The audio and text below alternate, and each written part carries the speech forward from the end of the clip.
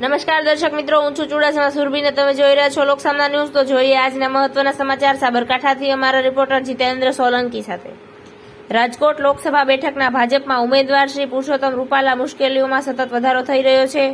ક્ષત્રિય સમાજ સામે ટિપ્પણી કરવા બદલ સમગ્ર રાજ્યમાં ક્ષત્રિયોમાં ભારે રોષ જોવા મળી રહ્યો છે. ત્યારે આજે હિંમતનગરના મહેતાપુરા ખાતે મોટી સંખ્યામાં ક્ષત્રિય સમાજના લોકો ભેગા થઈ રૂપાલાનો વિરોધ કર્યો હતો અને પુરુષોત્તમ રૂપાલા સામે કડક કાર્યવાહી કરવા કલેક્ટરને આવેદનપત્ર આપવામાં આવ્યું હતું. રૂપાલાજીએ હા બસ.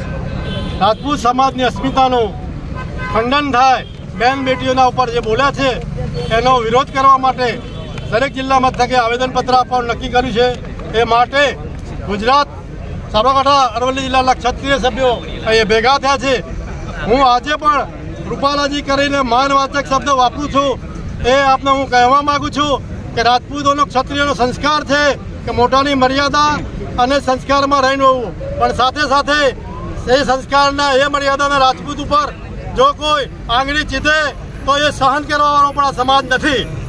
માટે આજે જે આવેદનપત્ર આપવા જઈ રહ્યા છે, એનો સ્પષ્ટ સાબરકાંઠા અરવલ્લી જિલ્લા રાજપૂત સમાજ, ક્ષત્રિય સમાજ, એનું ખંડન કરે છે રૂપાલાજીના વાક્યનું.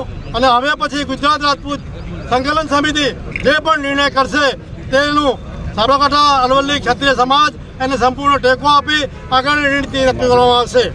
આજની માગણીમાં ગુજરાત રાજપૂત સંકલન સમિતિએ નિર્ણય કર્યો છે કે રૂપાલા સાહેબ જે રાજપૂતો માટે બોલ્યા છે એ માટે રૂપાલા સાહેબનું રાજકોટમાંથી નહીં ગુજરાતમાંથી એમને ટિકિટ રદ થવી જોઈએ એ અમારી માગણી છે. જોતા રહો લોકસામના ન્યૂઝ ફરી મળીશું એક નવા સમાચાર સાથે.